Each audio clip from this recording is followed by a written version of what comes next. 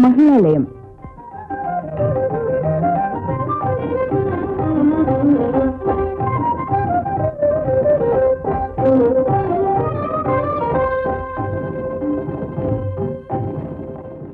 പ്രിയ ശ്രോതാക്കളെ മഹിളാലയത്തിലേക്ക് സ്വാഗതം.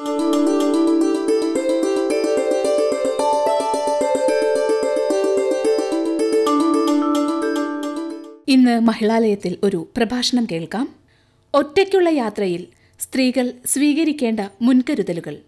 ഈ വിഷയത്തെക്കുറിച്ച് Cochin city deputy commissioner of police law and order Shri V U Kuriakose സംസാരിക്കുന്നു.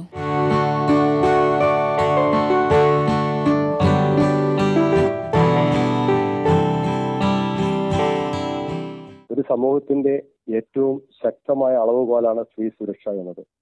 ഒരു സമൂഹത്തിൽ സ്ത്രീ എത്ര സുരക്ഷിതമാണോ അത്രയും ഉയർന്ന നിലവാരമുള്ള സമൂഹമാണ് അത് എന്ന് കണക്കാക്കേണ്ടിയിരിക്കുന്നു. സ്ത്രീ സുരക്ഷയിൽ ഏറ്റവും പ്രധാന കാര്യം നമ്മുടെ മനോശക്തിയാണ്. സ്ത്രീ അബലയല്ല എന്നും എന്ത് പ്രശ്നം വന്നാലും തന്റോടത്തോടെ ഞാൻ നേരിടുമെന്നും ആത്മവിശ്വാസമാണ് വേണ്ടത്. സ്ത്രീ സുരക്ഷയെ സംബന്ധിച്ച് സമൂഹത്തിന്റെ കാഴ്ചപ്പാട് മാറേണ്ടിയിരിക്കുന്നു. സ്ത്രീയും പുരുഷനും തുല്യരാണെന്നും പരസ്പര പൂരകങ്ങളുമാണെന്നുള്ള അറിവാണ് ആദ്യം ഉണ്ടാകേണ്ടത്. ഒരു സമൂഹത്തിന്റെ സർവാത്മകമായ ഉയർച്ചയ്ക്ക് സ്ത്രീയുടെയും പുരുഷന്റെയും ഒത്തൊരുമിച്ചുള്ള പ്രവർത്തനമാണ് വേണ്ടത്. സ്ത്രീകൾ ഒറ്റയ്ക്ക് സഞ്ചരിക്കുമ്പോഴും സമൂഹത്തിൽ ഇടപെടുമ്പോഴും വ്യത്യസ്തമായ പ്രശ്നങ്ങളാണ് അഭിമുഖീകരിക്കേണ്ടി വരുന്നത്. സമൂഹത്തിൽ പ്രശ്നങ്ങൾ ഉണ്ടാവുകയില്ല എന്ന് നമുക്ക് പറയാൻ കഴിയില്ല. എന്നാൽ ഉണ്ടാകുന്ന പ്രശ്നങ്ങൾക്ക് പരിഹാരം കാണുക എന്നതാണ് മുഖ്യം.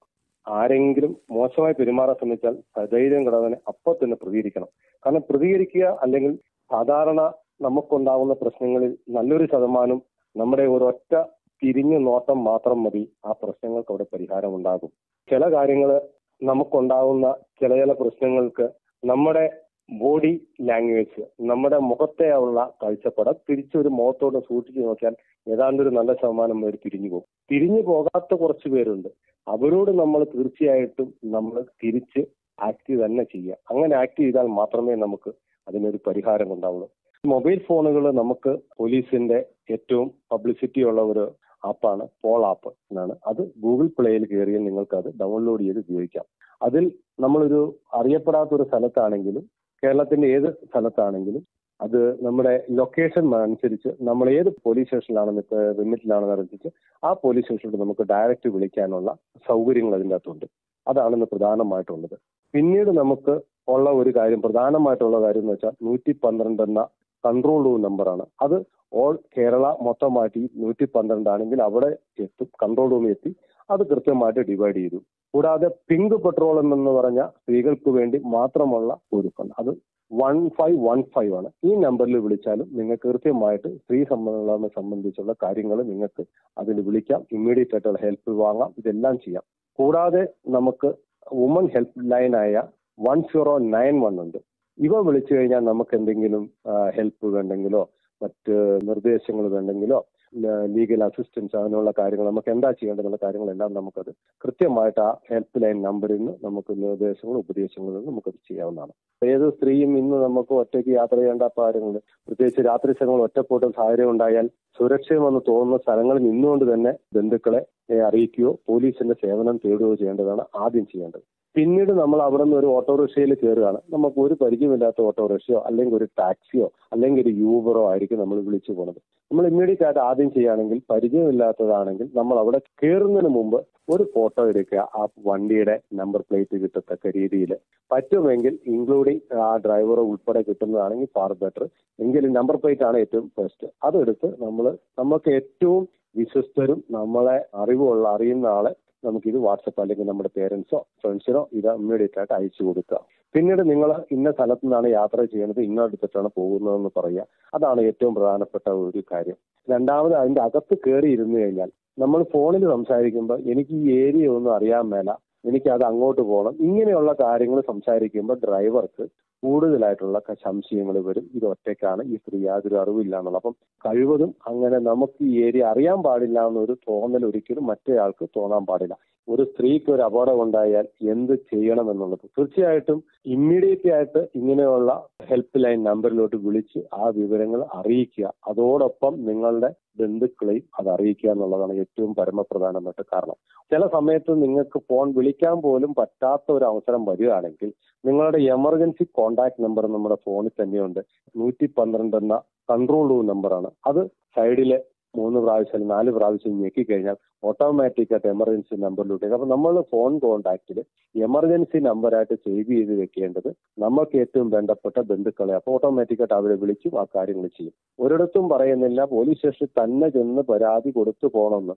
നിങ്ങൾക്ക് ഒരു കാര്യങ്ങളുണ്ടെങ്കിൽ അത് ആ പോലീസ് സ്റ്റേഷനിൽ നിന്ന് പോകാതെ നിങ്ങളുടെ ഫോണിൽ തന്നെ വിളിച്ച് അപ്പോൾ തന്നെ അറിയിച്ചു കഴിഞ്ഞാൽ അതിന് നടപടി ഉണ്ടാകും. അതിനുള്ള ഫോളോ അപ്പ് ചെയ്യാം. പക്ഷെ ഫോണിൽ അറിയിച്ചു കഴിഞ്ഞാൽ തുടർന്നുള്ള ഫോളോ അപ്പ് നിങ്ങൾ ചെയ്യണമെന്ന് ഭാഗം മാത്രമുള്ളൂ ഇതിന്റെ ബാക്കിയുള്ള. അവർ നിങ്ങൾ അവിടെ ഫോൺ വിളിച്ച് പറഞ്ഞു കഴിഞ്ഞിട്ട് പോയി കഴിഞ്ഞാൽ ഒന്നുകിൽ അവർക്ക് വരാനുള്ള സാവകാശം അവിടെ ഏരിയയിൽ ഉണ്ടാകണം. അതല്ലെങ്കിൽ നിങ്ങൾ പോവുകയാണെങ്കിൽ ബാക്കിയുള്ള കമ്മ്യൂണിക്കേഷൻ ഇമെയിൽ മുഖാന്തരമോ മറ്റു ഫോൺ മുഖാന്തരമോ ഉള്ള ഫോളോ അപ്പ് മാത്രം നടത്തിയാൽ മതി. അത് കഴിഞ്ഞിട്ട് ആവശ്യമുണ്ടെങ്കിൽ മാത്രമേ ഒരു ഡീറ്റെയിൽ സ്റ്റേറ്റ്മെന്റിന് പോലീസ് സ്റ്റേഷനിലോട്ട് പോകേണ്ടതുള്ളൂ സ്ത്രീകൾ ട്രെയിനിൽ ഒറ്റയ്ക്കോ അല്ലെങ്കിൽ സ്ത്രീകൾ മാത്രം വേണമെന്നില്ല. അതൊരു പുരുഷനായാലും ഒറ്റയ്ക്ക് പോകുമ്പോൾ ഈ മാതിരിയുള്ള പ്രശ്നങ്ങൾ ഉണ്ടാകാറുണ്ട്. കാരണം നമ്മൾ സ്ഥിരം കേൾക്കുന്നതാണ് നോർത്ത് ഇന്ത്യയിൽ നിന്ന് വരുന്ന വണ്ടികളിൽ സ്വീറ്റ്സ് തന്നു അത് കഴിച്ച് മയങ്ങിപ്പോയി എന്റെ സ്വർണങ്ങളും എല്ലാം എടുത്തുകൊണ്ട് പോയി എന്നുള്ളത്. അത് വളരെ രീതിയിൽ റെയിൽവേ അതിനൊരു പബ്ലിസിറ്റി വരെ കൊടുക്കുന്നുണ്ട്. അതുകൊണ്ട് വളരെ ശ്രദ്ധിക്കേണ്ട കാര്യം അപരിചിതരുടെ കയ്യിൽ നിന്ന് ഒരു ഓഫറും ഒരു പാനീയങ്ങളോ ഒന്നും മേടിച്ച് കഴിക്കരുത്. അങ്ങനെ കഴിച്ചു കഴിഞ്ഞാൽ തീർച്ചയായിട്ടും അതിൽ എം ഡി പി എസ് സബ്സ്റ്റൻസോ കാര്യങ്ങളോ ഉണ്ടെങ്കിൽ നമ്മൾ ഓട്ടോമാറ്റിക് ആയിട്ട് അൺകോൺഷ്യസ് ആയി പോകും നമ്മുടെ ആഭരണങ്ങളും മറ്റതും പോകും. ഇത് ഇതേപോലെ തന്നെയാണ് പല ഹോട്ടലുകളിലും ഡി ജെ പാർട്ടി മറ്റ് പ്രോഗ്രാംസ് ഒക്കെ ഉണ്ടാവും. അവിടെ ചെന്ന് കഴിയുമ്പോൾ നമുക്ക് ചില കാര്യങ്ങൾ ചിലർ സെപ്പറേറ്റ് ആയിട്ട് നമുക്ക് നമ്മുടെ ഫ്രണ്ട്സ് ചിലർ വിളിച്ചുകൊണ്ട് പോകും ചിലർ പരിചയമില്ലാത്തവർ പരിചയമില്ലാത്തവർ ആരെങ്കിലും നമുക്കൊരു ഓഫർ ചെയ്താൽ അതിന്റെ അകത്ത് ഡ്രഗ്സ് ഉണ്ടെങ്കിൽ നമ്മൾ ഓട്ടോമാറ്റിക് ആയിട്ട് നമ്മൾ അവർക്ക് അടിമപ്പെട്ടു പോകുന്ന അവസ്ഥ പലപ്പോഴും ഉണ്ടാവുന്നുണ്ട്. അതുകൊണ്ട് വളരെ ശ്രദ്ധിക്കേണ്ടതുണ്ട് ഇങ്ങനെയുള്ള ഫംഗ്ഷനുകളോ ട്രെയിനിലോ പോകുമ്പോൾ നമുക്ക് പരിചയം വരാത്ത ഒരാളുടെ കയ്യിൽ നിന്നും ഒന്നും മേടിച്ചു കഴിക്കരുത്. പ്രത്യേകിച്ച് ഡ്രിങ്ക്സ് നിങ്ങൾ പൊട്ടിച്ച് കൊണ്ടുവന്ന് തരുന്നത് ഒരിക്കലും മേടിക്കരുത്. അത് പൊട്ടിക്കാത്തത് നിങ്ങൾ പൊട്ടിച്ച് കഴിക്കുന്നതിനായിരിക്കും ഏറ്റവും സുരക്ഷിതമായിട്ടുള്ള കാര്യങ്ങൾ അതുപോലെ ട്രെയിനിൽ സ്ത്രീകൾ ഒറ്റയ്ക്ക് പോകുന്നത്. ഒറ്റയ്ക്ക് സ്ത്രീകൾ ട്രെയിനിൽ സഞ്ചരിക്കേണ്ട ഒരു പ്രധാന ഒരു കാര്യം എന്ന് വെച്ചാൽ സ്ത്രീകൾ കൂടുതലും ലേഡീസ് കമ്പാർട്ട്മെന്റിലാണല്ലോ കയറുന്നത്. ലേഡീസ് കമ്പാർട്ട്മെന്റിൽ മാത്രമേ കയറാവുള്ളൂ എന്നൊന്നും നമ്മൾ വിചാരിക്കരുത്. ആ കമ്പാർട്ട്മെന്റിൽ സ്ത്രീകൾ ഇല്ല എങ്കിൽ നമ്മൾ ആ ജനറൽ കമ്പാർട്ട്മെന്റിൽ കയറുക. ഇനി ജനറൽ കമ്പാർട്ട്മെന്റ് കമ്പാർട്ട്മെന്റിലും ആൾക്കാർ കുറവാണെങ്കിൽ നിങ്ങൾ ഇമ്മീഡിയറ്റ് ആയിട്ട് ഇ ടി ആയിട്ട് കോണ്ടാക്ട് ചെയ്യുക. അദ്ദേഹത്തോട് പറയാം സാർ എനിക്ക് ഇങ്ങനെ ഒരു പ്രശ്നമുണ്ട്. ഞാൻ ഒറ്റയ്ക്കേ ഉള്ളൂ. ഒരിടത്തും ആളുകൾ കാണുന്നില്ല. അപ്പോൾ തീർച്ചയായിട്ടും ടി ടി ഏറ്റവും സുരക്ഷിതമായ ഒരു സ്ഥലം കണ്ടെത്തി നിങ്ങളെ അവിടെ ഇരുത്തിക്കോളും. നിങ്ങൾ ഇറങ്ങുന്നത് വരെ ആ ടി ടി സൂക്ഷിക്കുകയും ചെയ്യുകയും ചെയ്യണം. അത് ഏറ്റവും ഒറ്റയ്ക്ക് പോകുന്ന സ്ത്രീകൾ അത് വളരെ ശ്രദ്ധിക്കേണ്ടതാണ്.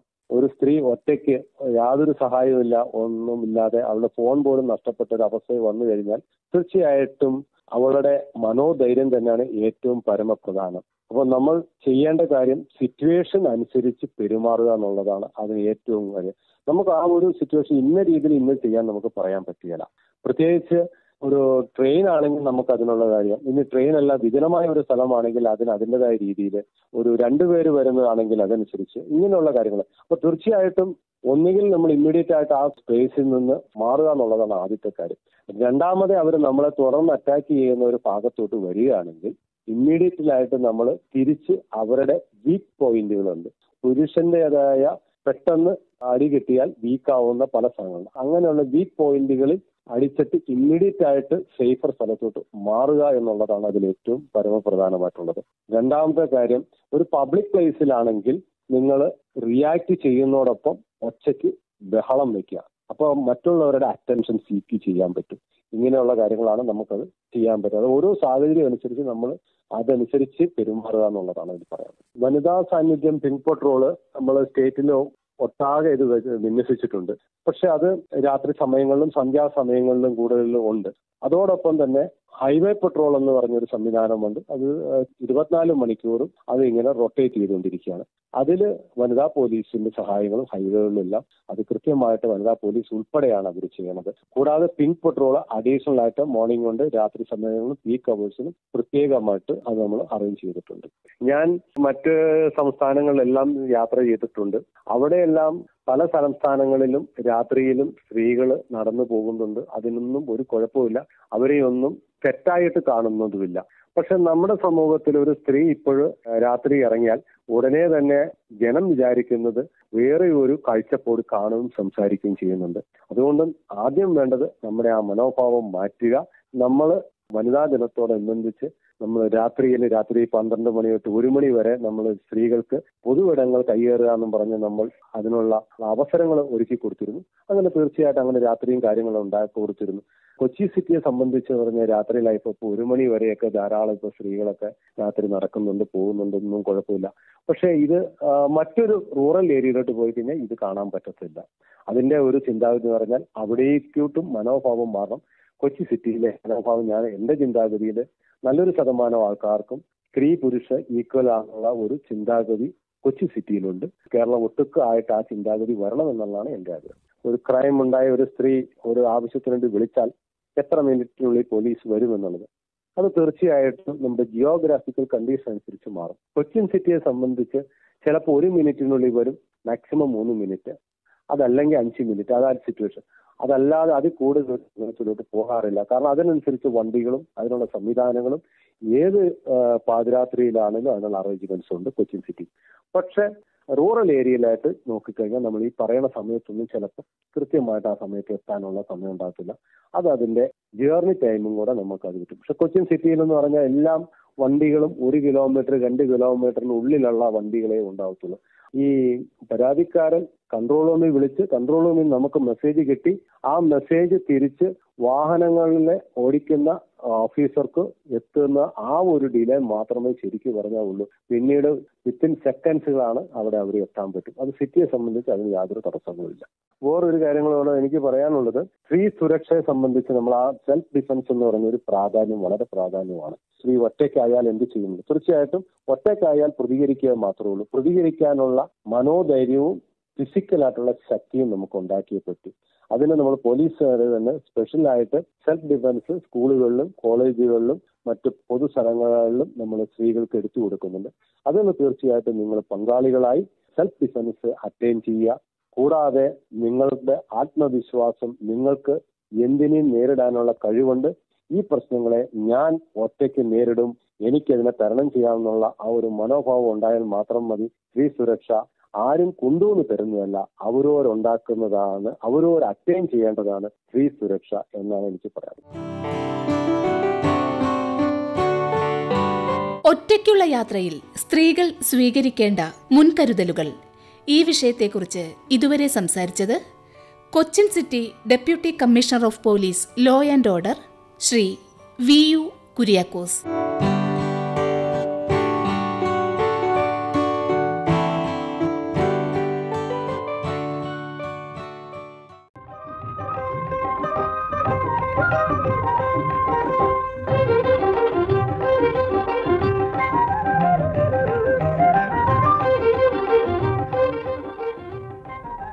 മഹിളാലയം സമാപിച്ചു